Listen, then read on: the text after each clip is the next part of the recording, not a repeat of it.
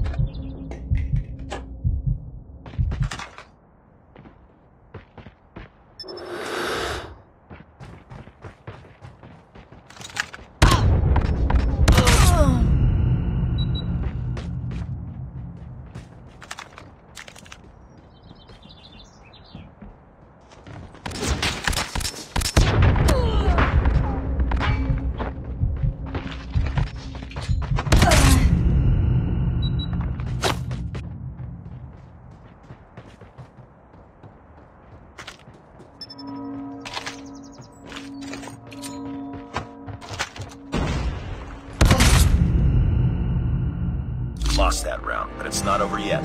Ready up.